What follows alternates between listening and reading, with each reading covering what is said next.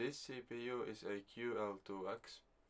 It is an engineering sample of i7 7820 HK mobile CPU converted to LGA 1151 socket.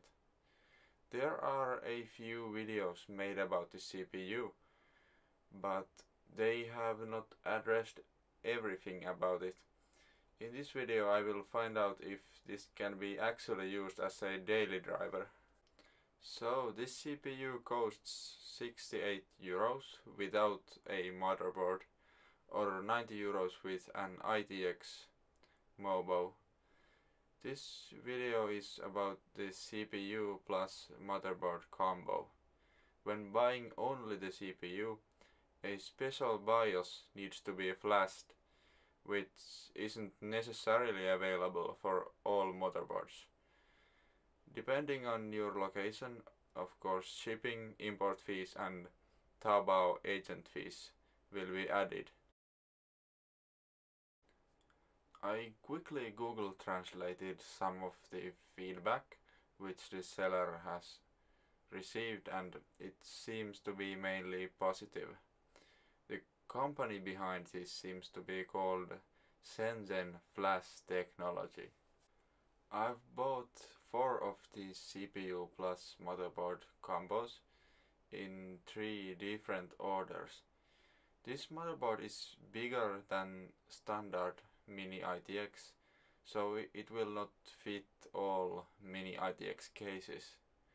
Between each order, the metallic plate holding down the CPU seems to have evolved some so it looks like they are developing this product all the time. This board is the first one I ordered. In this version the plate is a little higher than the CPU die which can prevent good contact with some coolers. That may be one of the reasons why they have changed the design to this. One of my orders arrived with these copper shims that can be installed between the die and the cooler. That order also had these Torx screwdrivers included which can be used to replace a regular socket with this special QL2X plate. As you can see here, the CPU is BGA soldered onto a converter PCB which is held down by the metallic plate. I actually had a problem with the first board that I ordered.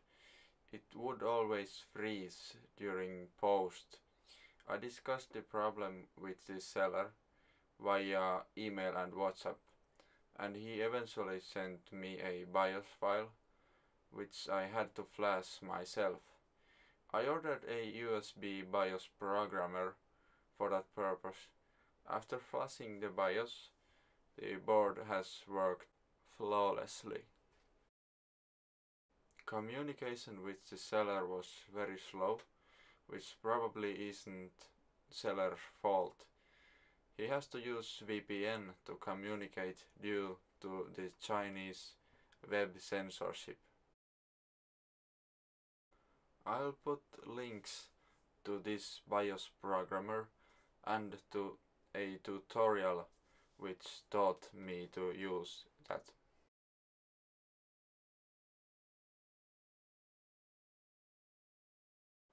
This board and CPU are from the last order I made. BIOS chip has a different label and the metal plate is different again. The die has a yellow protective film. The BIOS looks otherwise normal, but the CPU is recognized as 0000 and all PCIe slots run at Gen 2 speed instead of Gen 3. This shouldn't have any effect with almost any GPU though. There is a OC tweaker option in the BIOS, but this is apparently for BCLK overclocking, which isn't true overclocking. I set all cores to 3.1 GHz. As you can see here it is recognized as Skylake 6820 HQ but it says also Kaby Lake. Running Cinebench R20 it keeps all the cores at 3.1 GHz. I set all the cores at uh, 3.2 GHz and also installed a better cooler though it wasn't really needed. This helped to achieve our 100 points in R20. Thermals are very low so there would be lots of headroom for way higher clocks but when I set higher clocks 4 GHz for example it keeps those clocks only when CPU isn't under full load. When running Prime 95 or R20 it automatically down clocks and hovers around 3.2 to 3.4 gigahertz. I've tested plenty of different games and had no problems. It performs like expected. CPU even stays at 4 GHz when not under full load. Bad quality of the footage is due to format conversion for iMovie. The corrupted BIOS in one of the motherboards has been the only issue I have had so far and that was solved by reflashing the BIOS. One board has been in continuous use for some time now. There has been one issue with that build but that turned out to be power supply issue. After replacing that power supply there has been no issues.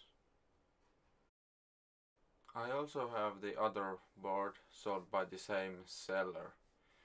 It is quite similar, I might make a video about that one too. Part 2 to this video is coming soon on this channel. In that part I will install this CPU on a Z270 motherboard. I will test proper overclocking of this CPU NVMe performance and Optane compatibility among other things.